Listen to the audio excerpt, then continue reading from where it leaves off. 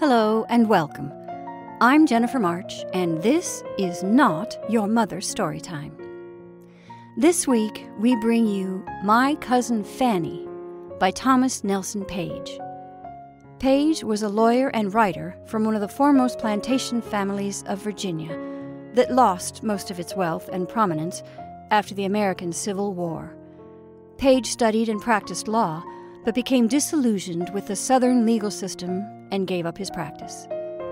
In his writing, Page popularized the Southern tradition of the plantation genre, as well as vivid portrayals of Confederate soldiers' experiences during the Civil War. And now, My Cousin Fanny by Thomas Nelson Page.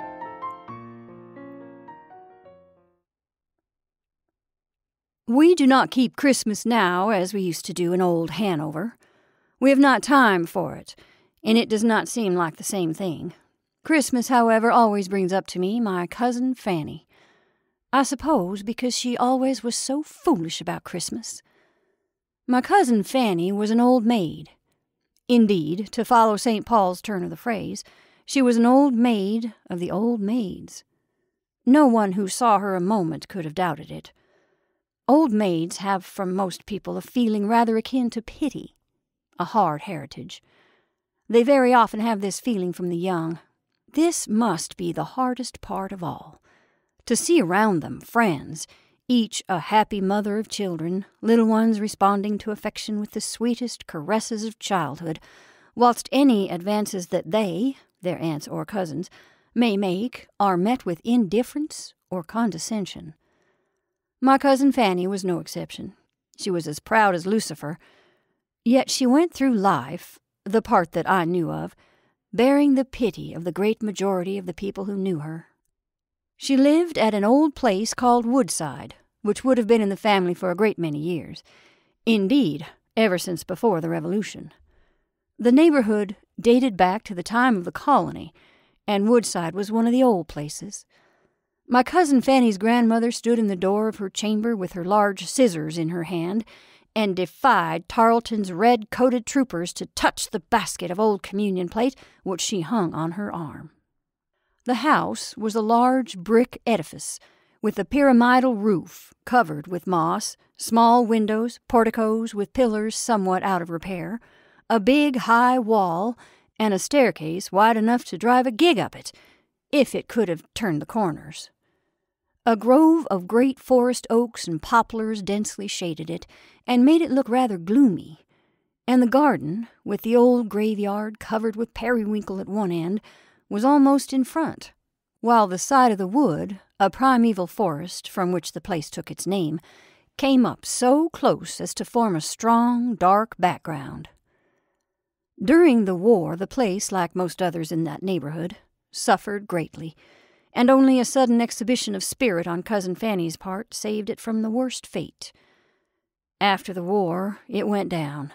The fields were poor, and grew up in briars and sassafras, and the house was too large and out of repair to keep from decay, the ownership of it being divided between Cousin Fanny and other members of the family. Cousin Fanny had no means whatever, so that soon it was in a bad condition the rest of the family, as they grew up, went off, compelled by necessity to seek some means of livelihood, and would have taken Cousin Fanny too if she would have gone. But she would not go.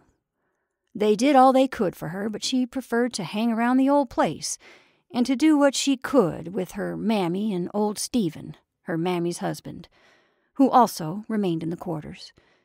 She lived in a part of the house, locking up the rest, and from time to time visited among her friends and relatives, who always received her hospitably. She had an old piece of a mare, which I think she had bought from Stephen, with one eye, three legs, and no mane or tail to speak of, and on which she lavished, without the least perceptible result, enough care to have kept a stable in condition. In a freak of humor, she named this animal Fashion, after a noted racer of the old times, which had been raised in the county and had beaten the famous Boston in a race. She always spoke of Fash with a tone of real tenderness in her voice, and looked after her and discussed her ailments, which were always numerous, as if she had been a delicate child. Mounted on this beast, with her bags and bundles and shawls and umbrella, and a long stick or pole, she used occasionally to make the tour of the neighborhood, and was always really welcomed. Because, notwithstanding the trouble she gave, she always stirred things up. As was said once, you could no more have remained dull where she was than you could have dozed with a chinquapin burr down your back. Her retort was that a chinquapin burr might be used to rouse people from a lethargy. She had an old maid's tongue. By the younger members of the family she was always welcomed, because she furnished so much fun. She nearly always fetched some little thing to her host, not her hostess, a fowl or a pat of butter from her one old cow or something of the kind, because she said, Abigail has established the precedent, and she was a woman of good understanding.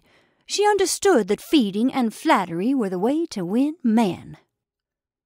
She would sometimes have a chicken in a basket hung on the off pommel of her old saddle, because at times she fancied she could not eat anything but chicken soup, and she did not wish to give trouble. She used to give trouble enough, for it generally turned out that she had heard someone was sick in the neighborhood, and she wanted the soup carried to her. I remember how mad Joe got because she made him go with her to carry a bucket of soup to old Mrs. Ronquist. Cousin Fanny had the marks of an old maid. She was thin, scrawny, we used to call her, though I remember now she was quite erect until she grew feeble. Her features were fine, her nose was very straight, her hair was brown, and her eyes, which were dark, were weak, so that she had often to wear a green shade. She used to say to herself that they were bad eyes. They had been so ever since the time she was a young girl, and there had been a very bad attack of scarlet fever at her home, and she had caught it. I think she caught a bad cold with it, sitting up, nursing some of the young children, perhaps, and it had settled in her eyes. She was always very liable to cold. I believe she had a lover then or about that time, but her mother had died not long before, and she had some notion of duty to the children, and so discarded him. Of course, as everyone said, she'd much better have married him. I do not suppose he ever could have addressed her. She never would admit that he did, which did not look much like it. She was once spoken of in my presence as a sore eyed old maid. I have forgotten who said it, yet I can now recall occasions when her eyes, being better, appeared unusually soft, and had she not been an old maid, would sometimes have been beautiful. As, for instance, occasionally when she played at the piano in the evenings before the candles were lighted. I recollect particularly once when she was singing an old French love song Another time was when, on certain occasion, someone was talking about marriages and the reasons which led to or prevented them. She sat quite still and silent, looking out of the window, with her thin hands resting in her lap. Her head was turned away from most of the people. But I was sitting where I could see her, and the light of the evening sky was on her face.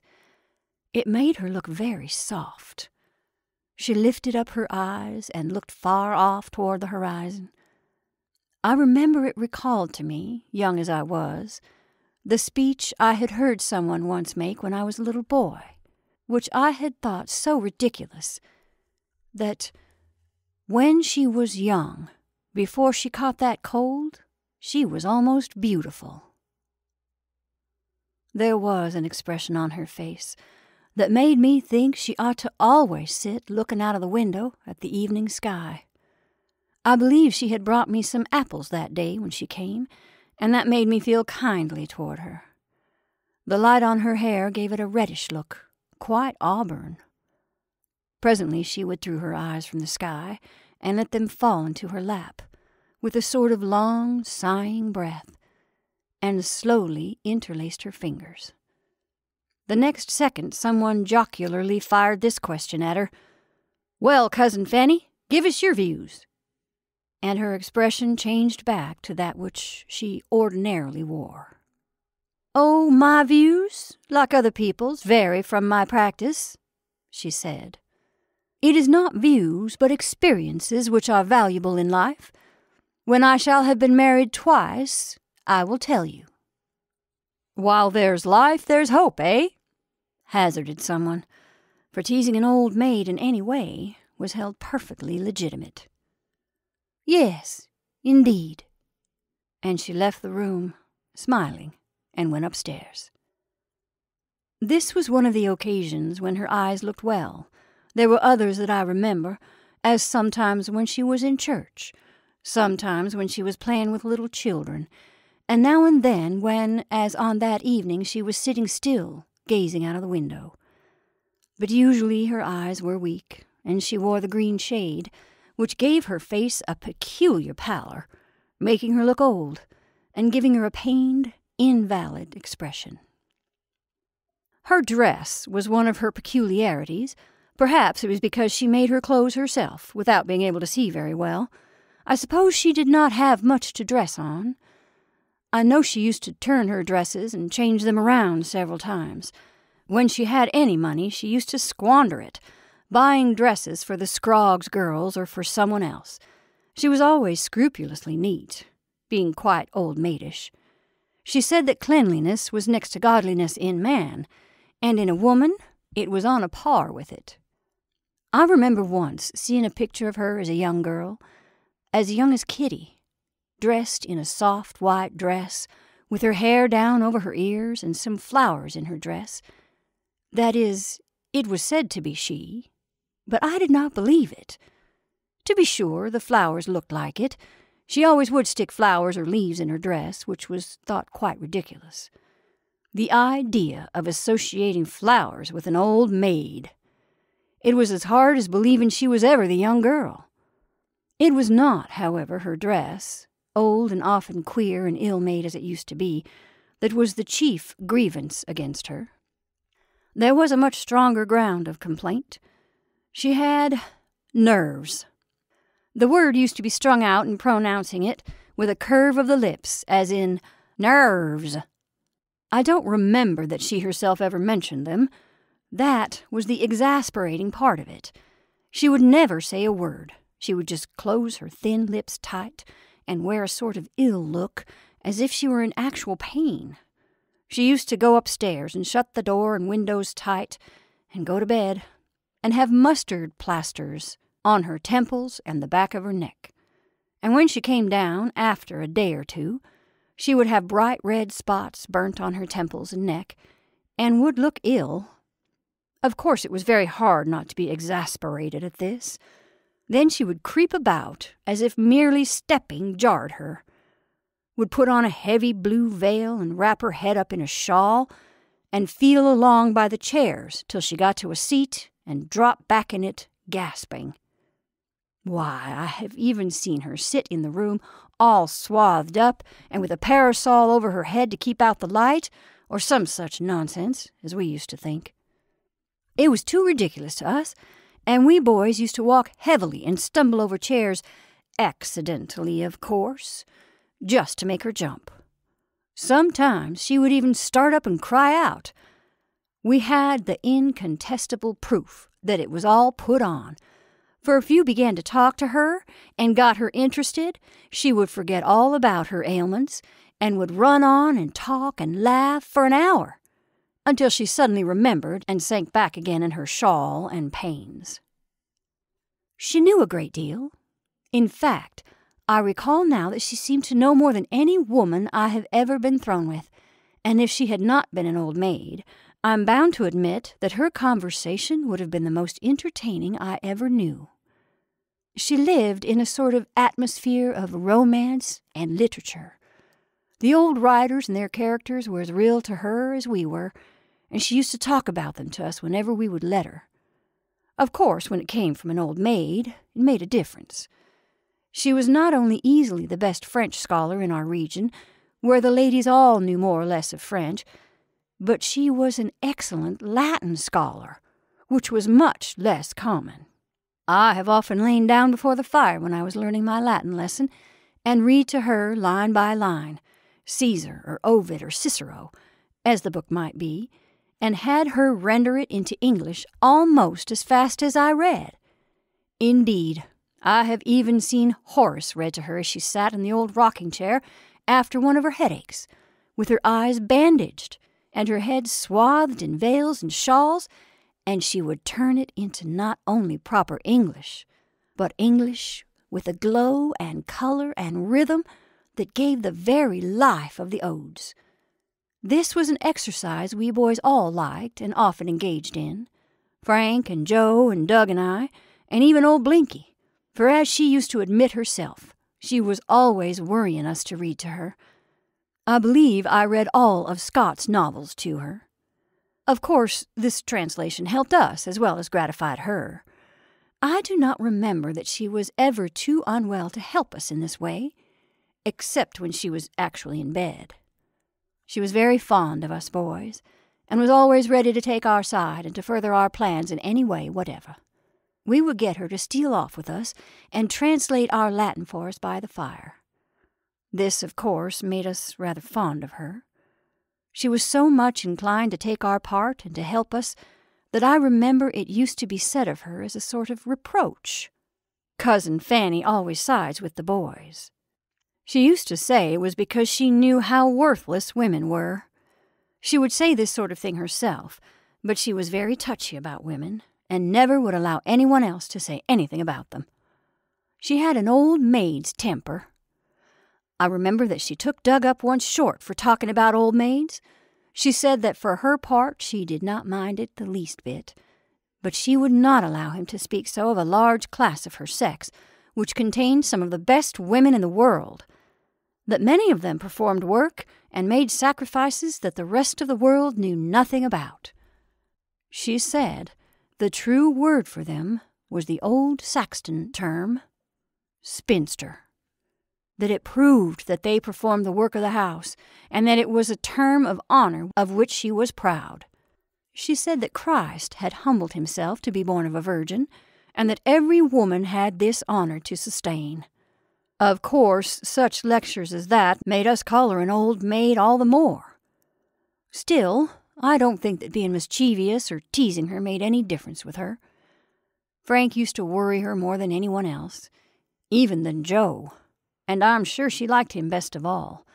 That may be, perhaps, because he was the best looking of us. She said once that he reminded her of someone she used to know a long time ago when she was young. It must have been a long time before, indeed. He used to tease the life out of her.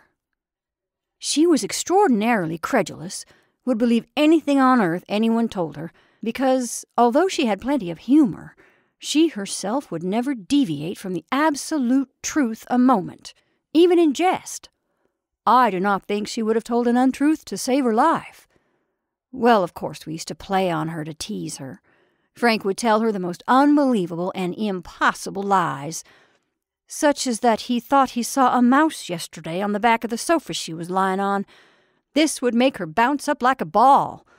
Or that he believed he heard, he was not sure, that Mr. Scroggs, the man who had rented her old home, had cut down all the trees in the yard and pulled down the house because he wanted the bricks to make brick ovens.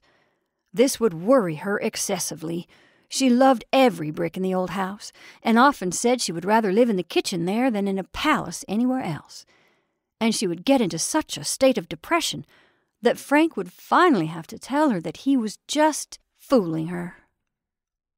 She used to make him do a good deal of waiting on her in return, and he was the one she used to get to dress old Fashion's back when it was raw, and to put drops in her eyes. He got quite expert at it. She said it was a penalty for his worrying her so. She was the great musician of the connection. This is in itself no mean praise, for it was the fashion for every musical gift among the girls to be cultivated, and every girl played or sang, more or less, some of them very well. But Cousin Fanny was not only this. She had a way of playing that used to make the old piano sound different from itself and her voice was almost the sweetest I ever heard, except one or two on the stage. It was particularly sweet in the evenings when she sat down at the piano and played. She would not always do it. She either felt not in the mood or not sympathetic or some such thing. None of the others were that way. The rest could just play as well in the glare of day as in the twilight, and before one person as another. It was, we all knew, just one of Cousin Fanny's old maid crotchets. When she sat down at the piano and played, her fussiness was all forgotten. Her first notes used to be recognized throughout the house, and people used to stop what they were doing and come in. Even the children would leave off playing and come straggling in, tiptoeing as they crossed the floor. Some of the other performers used to play a great deal louder, but we never tiptoed when they played. Cousin Fanny would sit at the piano, looking either up or straight ahead of her, or often with her eyes closed. She never looked at the keys. And the sound used to rise from under her long, thin fingers sometimes rushing and pouring forth like a deep roar, sometimes ringing out clear like a band of bugles, making the hair move on the head and giving strange tinglings down the back. Then we boys wanted to go forth in the world on fiery black chargers like the olden knights, and fight giants and rescue beautiful ladies and poor women. Then again, with her eyes shut, the sound would almost die away and her fingers would move softly and lingeringly as if they loved the touch of the keys and hated to leave them. And the sound would come from far away off, and everything would grow quiet and subdued, and the perfume of the roses out of doors would steal in on the air, and the soft breezes would stir the trees, and we were all in love and wanted to see somebody that we didn't see and Cousin Fanny was not herself any longer, but we imagined someone else was there. Sometimes she suddenly began to sing. She sang old songs, English or French. Her voice might be weak, it all depended on her whims. She said on her health. In that case, she always stopped and left the piano, or it might be in condition. When it was, it was as velvety and mellow as a bell far off and the old ballads and chansons used to fill the twilight. We used even to forget then that she was an old maid. Now and then she sang songs that no one else had ever heard. They were her own. She had composed both the words and the air. At other times she sang the songs of others to her own airs. I remember the first time I ever heard of Tennyson was when, one evening in the twilight, she sang his echo song from the princess. The air was her own, and in the refrain you heard perfectly the notes of the bugle, and the echoes answering, dying, dying, dying. Boy as I was, I was entranced, and she answered my enthusiasm by turning and repeating the poem. I have often thought since how musical her voice was, as she repeated, Our echoes roll from soul to soul and grow for ever and ever. She had a peculiar sentimental temperament. As I look back at it all now, she was much given to dwelling upon old time poems and romances, which we thought very ridiculous in anyone, especially in a spinster of forty odd. She would stop and talk about the branches of a tree with the leaves all turning red or yellow or purple in the common way in which, as everyone knows, leaves always turn in the fall or even about a tangle of briars, scarlet with frost, in a corner of an old worm fence, keeping us waiting while she fooled around a briar patch with old Blinky, who would just as lief have been in one place as another, so it was out of doors. And even when she reached the house, she would still carry on about it, worrying us by telling over again just how the boughs and leaves looked massed against the old gray fence which she could do till she could see them precisely as they were. She was very aggravating in this way. Sometimes she would even take a pencil or pen and a sheet of paper for old Blinky and reproduce it. She could not draw, of course, for she was not a painter. All she could do was to make anything look almost just like it was. There was one thing about her which excited much talk. I suppose it was only a piece of old maidism. Of course, she was religious. She was really very good. She was considered very high church. I do not think, from my recollection of her, that she really was, or indeed that she could have been. But she used to talk that way, and it was said that she was. In fact, it used to be whispered that she was in danger of becoming a Catholic. I believe she had an aunt that was one, and she had visited several times in Norfolk and Baltimore, where it was said there were a good many. I remember she used to defend them and say she knew a great many devout ones. And she admitted that she sometimes went to the Catholic Church and found it devotional. The choral service, she said, satisfied something in her soul. It happened to be in the evening that she was talking about this. She sat down at the piano and played some of the Gregorian chants she had heard, and it had a soothing influence on everyone. Even Joe, the fidgetiest of all, sat quite still through it. She said that someone had said it was the music that the angels sing in heaven around the great white throne, and there was no other sacred music like it. But she played another thing that evening, which she said was worthy to be played with it. It had some chords in it that I remembered long afterwards. Years afterward, I heard it played the same way in the twilight by one who is a blessed saint in heaven, and may be playing it there now. It was from Chopin. She even said that evening, under the influence of her enthusiasm, that she did not see, except that it might be abused, why the crucifix should not be retained by all Christian churches, as it enabled some persons not gifted with strong imaginations to have a more vivid realization of the crucified Savior. This, of course, was going too far, and it created considerable excitement in the family and led to some very serious talk being given her, in which the second commandment figured largely. It was considered as carrying old maidism to an extreme length, for some time afterward, she was rather discountenanced. In reality, I think what some said was true. It was simply that she was emotional, as old maids are apt to be. She once said that many women have the nun's instinct largely developed, and sigh for the peace of the cloister. She seemed to be very fond of artists. She had the queerest tastes and had or had had when she was young one or two friends who I believe claimed to be something of that kind.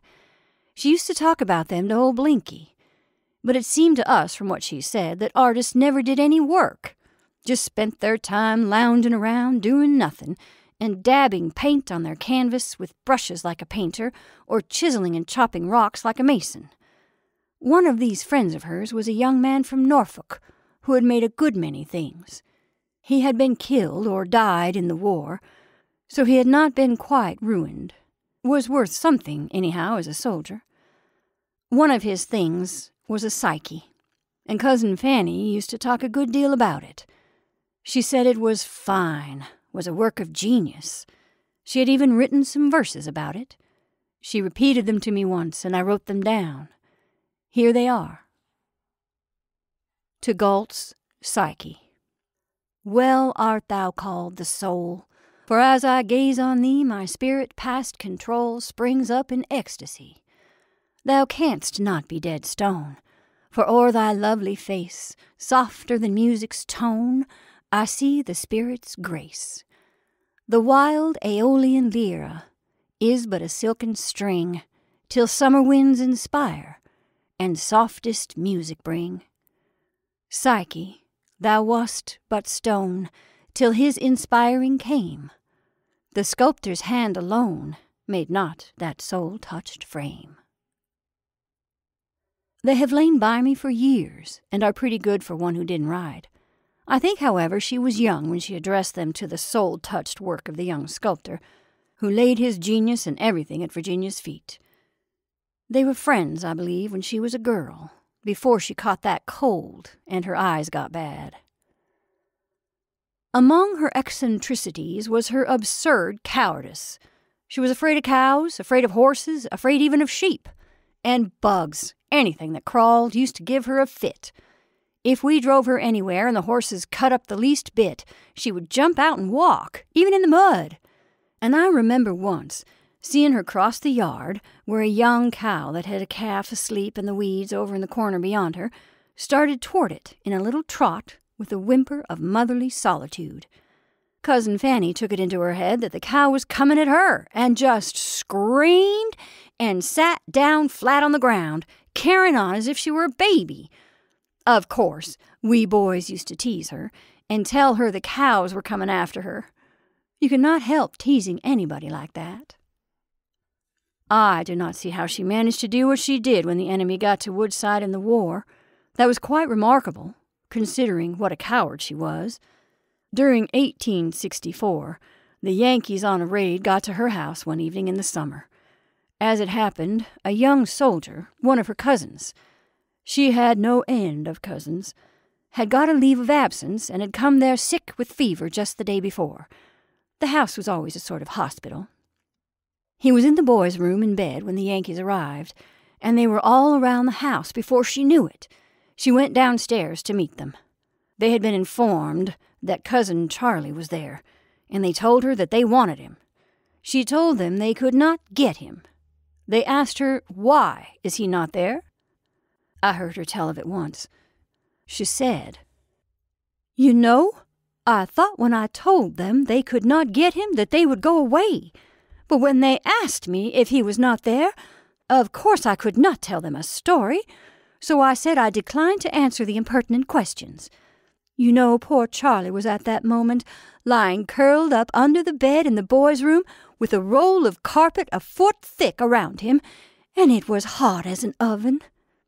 Well, they insisted on going through the house, and I let them go all through the lower stories.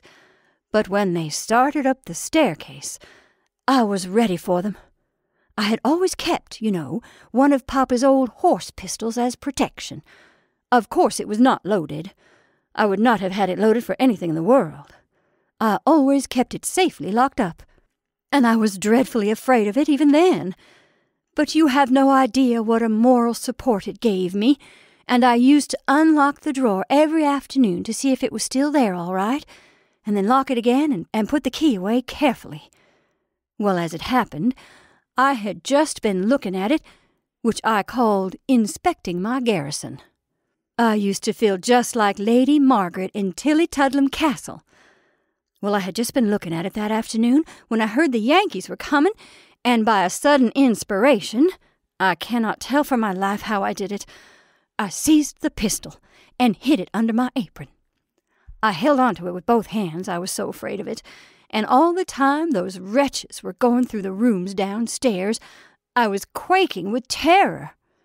But when they started up the stairs, I had a new feeling. I knew they were bound to get poor Charlie if he had not melted away and run away.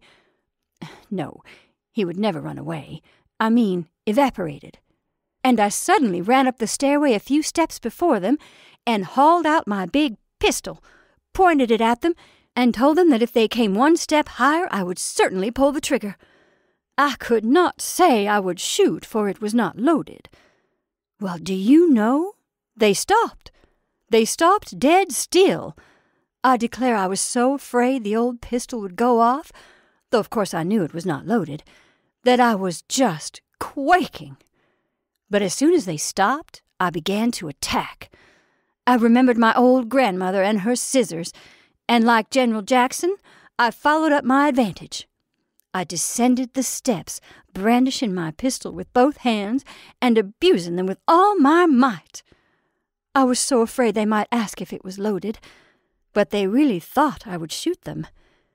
You know, men have not liked to be slain by a woman since the time of Abimelech. And they actually ran down the steps with me after them, and I got them all out of the house. Then I locked the door and barred it, and ran upstairs and had such a cry over Charlie. That was like an old maid.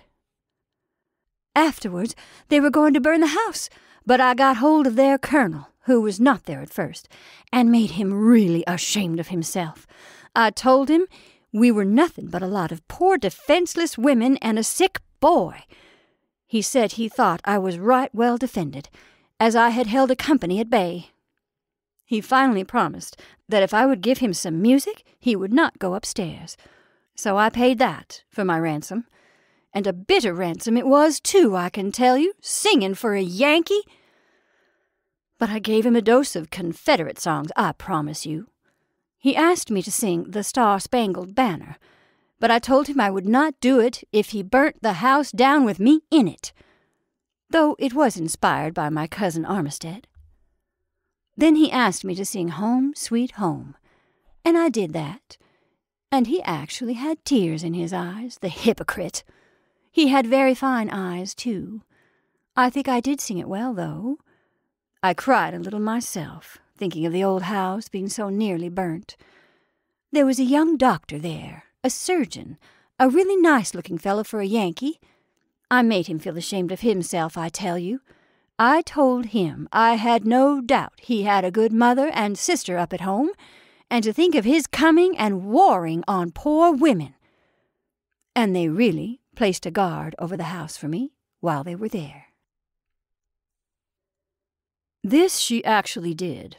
With her old empty horse pistol, she cleared the house of the mob, and then vowed that if they burned the house, she would burn up in it.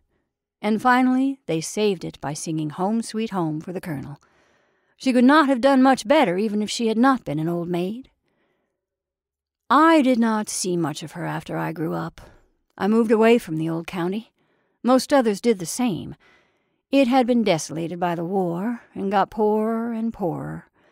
With an old maid's unusual crankiness and inability to adapt herself to the order of things, Cousin Fanny remained behind.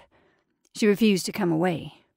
Said, I believe, she had to look after the old place, Mammy and Flash, or some such nonsense.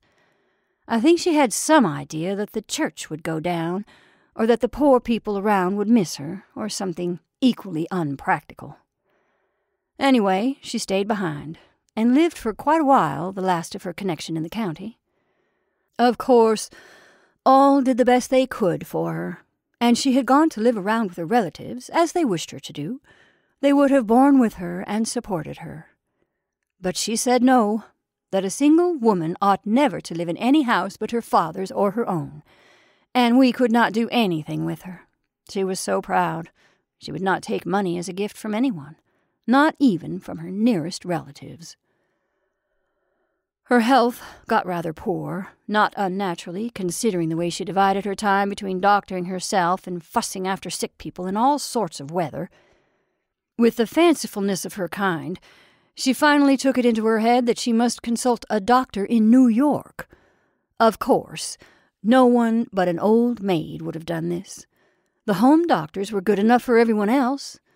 Nothing would do, however, but she must go to New York. So, against the advice of everyone, she wrote to a cousin who was living there to meet her, and with her old wraps and cap and bags and bundles and stick and umbrella, she started off. The lady met her, that is, went to meet her, but failed to find her at the station, and supposed that she had not come or had taken some other railroad, which she was likely to do, returned home, to find her in bed with her things piled up on the floor. Some gentleman had come across her in Washington, holding the right train while she insisted on taking the wrong route, and had taken compassion on her, and not only escorted her to New York, but had taken her and all her parcels and brought her to her destination, where she at once retired. He was a most charming man, my dear, she said to her cousin, who told me afterward, in narrating her eccentricities. And to think of it, I don't believe I had looked in a glass all day. And when I got here, my cap had somehow got twisted around and was perched right over my left ear, making me look a perfect fright. He told me his name, but I have forgotten it, of course. But he was such a gentleman, and to think of his being a Yankee! I told him I hated all Yankees, and he just laughed, and he did not mind my stick, nor old umbrella, nor bundles a bit. You'd have thought my old cap was a Parisian bonnet. I will not believe he was a Yankee. Well, she went to see the doctor, the most celebrated in New York, at the infirmary, of course, for she was too poor to go to his office. One consultation would have taken every cent she had. Her cousin went with her and told me of it. She said that when she came downstairs to go, she never saw such a sight. On her head she had her blue cap and her green shade and her veil and her shawl. And she had the old umbrella and long stick which she had brought from the country, and a large pillow under her arm because she knew she was going to faint. So she started out, but it was a slow procession. The noise and bustle of the street dazed her, her cousin fancied, and every now and then she would clutch her companion and declare she must go back or she should faint. At every street crossing she insisted upon having a policeman to help her over, or, in default of that, she would stop some man and ask him to escort her across, which of course he would do, thinking her crazy. Finally, they reached the infirmary, where there were already a large number of patients, and many more came in afterwards. Here, she shortly established an acquaintance with several strangers. She had to wait an hour or more for her turn, and then insisted that several who had come in after her should go in before her, because she said the poor things looked so tired. This would have gone on indefinitely, her cousin said, if she had not finally dragged her into the doctor's room. There, the first thing that she did was to insist that she must lie down. She was so faint, and her pillow was brought into requisition. The doctor humored her and waited on her. Her friends started to tell him about her, but the doctor said, I prefer to have her tell me herself. She presently began to tell. The doctor, sitting quietly by, listening, and seemed to be much interested. He gave her some prescription and told her to come again next day and when she went, he sent for her ahead of her turn, and after that made her come to his office at his private house, instead of to the infirmary as at first. He turned out to be the surgeon who had been at her house with the Yankees during the war. He was very kind to her. I suppose he had never seen anyone like her. She used to go every day, and soon dispensed with her friend's escort, finding no difficulty in getting about. Indeed, she came to be known on the streets she passed through, and on the cars she traveled by, and people guided her. Several times, as she was taking the wrong car, men stopped her and said to her, Madam, yours is the red car.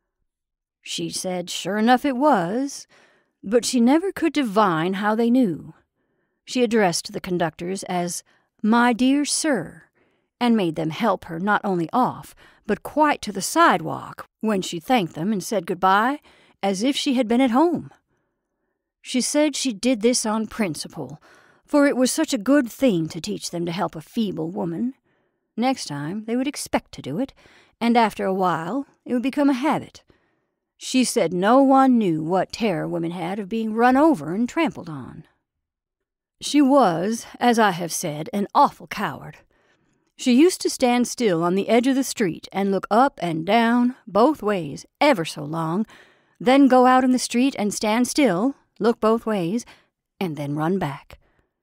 Or as like as not to start on and turn and run back after she was more than halfway across, and so get into real danger. One day, as she was passing along, a driver had in his cart an old bag of bones of a horse, which he was beating to make him pull up the hill and Cousin Fanny, with an old maid's meddlesomeness, pushed out into the street and caught hold of him and made him stop, which, of course, collected a crowd. And just as she was coming back, a little cart came rattling along, and though she was in no earthly danger, she ran so to get out of the way of the horse that she tripped and fell down in the street and hurt herself. So much for cowardice. The doctor finally told her that she had nothing the matter with her, except something with her nerves, and I believe her spine, and that she wanted company. You see, she was a good deal alone. He said it was the first law of health ever laid down that it was not good for man to be alone, that loneliness is a specific disease. He said she wanted occupation, some sort of work to interest her and make her forget her aches and ailments. He suggested missionary work of some kind. This was one of the worst things he could have told her, for there was no missionary work to be had where she lived. Besides, she could not have done missionary work. She had never done anything in her life. She was always wasting her time pottering about the county on her old horse, seeking sick old poor people in the pines. No matter how bad the weather was, no matter how deep the roads, she would go prowling around to some old auntie or uncle in their out of the way cabins, or somebody's sick child. I have met her on old fashion in the rain, toiling along in the roads that were knee deep to get the doctor to come see some sick person, or to get a dose of physics from the depot. How could she have done any missionary work? I believe she repaid the doctor for his care of her by sending him a charity patient to look after. Scrogg's eldest girl, who was bedridden or something. Cousin Fanny had a fancy that she was musical. I never knew how it was arranged. I think the doctor sent the money down to have the child brought on to New York for him to see. I suppose Cousin Fanny turned beggar and asked him. I know she told him the child was the daughter of a friend of hers, a curious sort of friend Scroggs was, a drunken creature who had done everything he could to pain her, and she took a great deal of trouble to get her to the train, lending old Fashion to haul her, which was a great deal more than lending herself. And the doctor treated her in New York for three months without any charge, till I believe the child got better. Old maids do not mind giving people trouble. She hung on at the old place as long as she could, but it had to be sold, and finally she had to leave it. Though I believe even after it was sold she tried boarding for a while with Scroggs, the former tenant, who had bought it. He treated her so badly that finally she had to leave, and boarded around. I believe the real cause was she caught him plowing with old Fashion. After that, I do not know exactly what she did.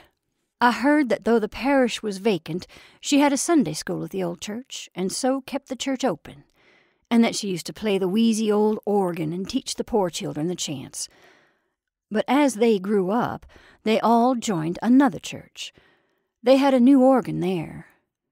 I do not know just how she got on. I was surprised to hear finally that she was dead, had been dead since Christmas. It had never occurred to me that she would die. She had been dying so long that I had almost come to regard her as immortal, and as a necessary part of the old county and its associations. I fell in some time afterwards with a young doctor from the old county, who I found had attended her, and I made some inquiries about her. He told me that she died Christmas night, she came to his house on her old mare in the rain and snow the night before to get him to go see someone, some friend of hers who was sick. He said she had more sick friends than anyone he ever knew. He told her that he was sick himself and could not go out. But she was so importune that he promised to go next morning. She was always very worrying. He said she was wet and shivering then, she never had any idea about really protecting herself, and that she appeared to have a wretched cold. She had been riding all day seeing about a Christmas tree for the poor children. He urged her to stop and spend the night, but she insisted that she must go on, though it was nearly dark and raining hard, and the roads would have mired a cat. She was always self willed. Next day he went to see the sick woman, and when he arrived, he found her in one bed and Cousin Fanny in another in the same room. When he had examined the patient, he turned and asked Cousin Fanny what was the matter with her. Oh, just a little cold, a little trouble in the chest, as Theodore Hook said, she replied. But I know how to doctor myself. Something about her voice struck him. He went over to her and looked at her and found she was suffering from acute pneumonia. He at once set to work on her. He took the other patient up in his arms and carried her into another room, where he told her that Cousin Fanny was a desperately ill woman.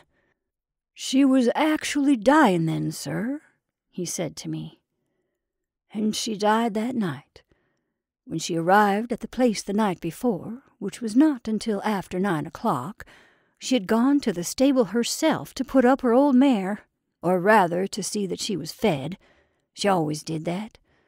So when she got into the house, she was wet and chilled through, and she had to go to bed. She must have had on wet clothes. he said. I asked him if she knew she was going to die. He said he did not think she did, that he did not tell her, and she talked about nothing except her Christmas tree and the people she wanted to see. He heard her praying in the night. And, uh, by the way, she mentioned you. She shortly became rather delirious and wandered a good deal, talking of things that must have happened when she was young. Spoke of going to see her mother somewhere. The last thing she ever said was something about fashion, which showed how ingrained is vanity in the female mind. The doctor knows something of human nature. He concluded what he had to say with, She was, in some respects, a very remarkable woman, if she had not been an old maid. I do not suppose that she ever drew a well breath in her life. Not that I think old maids cannot be very acceptable women, he apologized.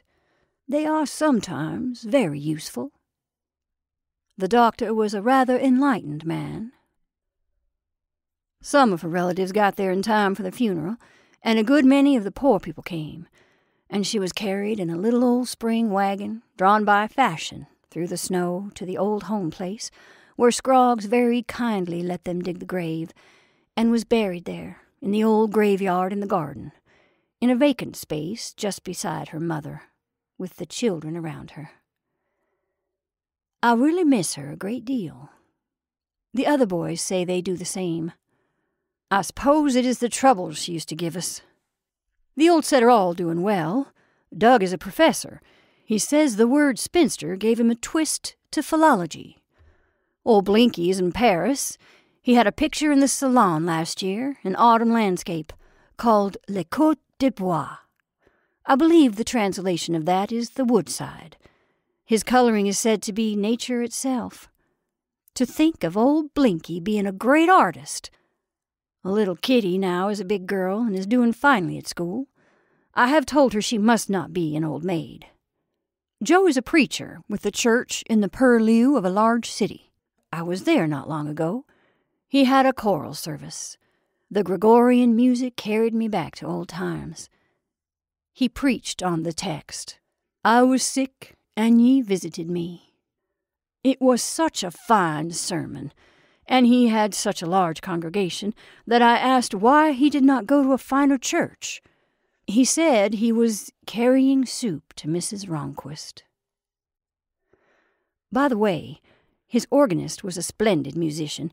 She introduced herself to me. It was Scrogg's daughter. She's married and can walk as well as I can. She had a little girl with her that I think she called Fanny. I do not think that was Mrs. Scrogg's name. Frank is now a doctor, or rather a surgeon, in the same city with Joe, and becoming very distinguished. The other day he performed a great operation, saving a woman's life, which was in all the papers. He said to an interviewer that he became a surgeon from dressing a sore on an old mare's back. I wonder what he was talking about. He's about to start a woman's hospital for poor women. Cousin Fanny would have been glad of that. She was always proud of Frank. She would as likely as not have quoted that verse from Tennyson's song about the echoes. She sleeps now, under the myrtle of Scroggs. I've often thought of what that doctor said about her. That she would have been a very remarkable woman if she had not been an old maid. I mean, a spinster.